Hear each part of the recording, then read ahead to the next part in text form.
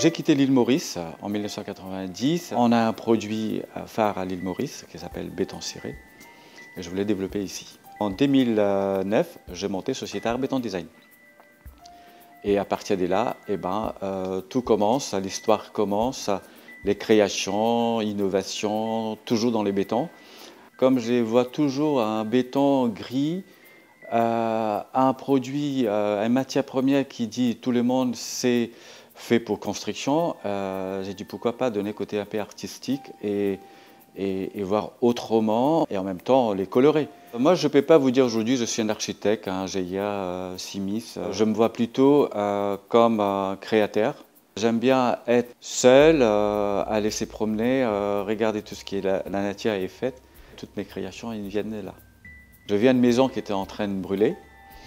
Et les lendemains, j'ai repassé, je les ai photographiés juste avec mes yeux, sans l'appareil photo. Et je rentrais à l'atelier je l'ai créé exactement, enfin exactement, j'ai créé euh, cette matière qui m'attirait beaucoup, euh, des données béton euh, façon bois brûlé. Alors différents types de clients, ce que j'ai aujourd'hui, justement, c'est des architectes, des designers, des créateurs autres qui n'arrivent pas justement à créer leurs propres produits et des grandes marques des luxe qui viennent vers moi justement pour créer leurs euh, matière. Aujourd'hui, je développe euh, des panneaux en béton pour une marque euh, Deluxe qui part à l'étranger.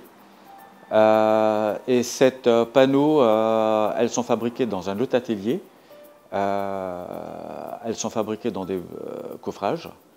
On prend les ciments, on mélange, on malaxe, on coule dans les coffrages, on laisse sécher au moins des jours. Une fois elle est sec, on les décoffre une fois c'est décoffré, on met les euh, produits hydrofuse, oilofuse, on met dans un lot de coffrage et on l'envoie à l'étranger où ça a été destiné. En 2014, euh, j'ai développé les bétons tactiles euh, pour une marque qui fait tout ce qui est déclenchement d'une toilette. Et un béton tactile, c'est comme une iPad, un iPhone, vous glissez les doigts, vous tirez la sasse d'eau. c'est une matière qui est tellement souple pour travailler, je ne vois pas de négatif euh, dans les bétons, je vois que des positifs. C'est pour ça que ça donne un envie de travailler tous les jours euh, sans relâche.